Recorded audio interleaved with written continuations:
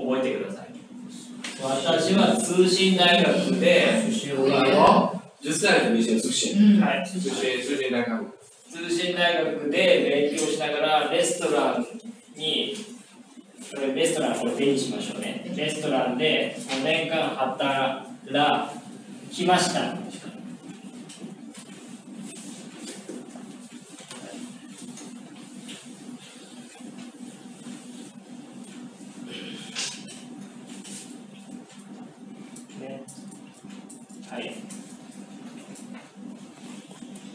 わかりました私は通信大学で勉強しながらこのしながらってわかります？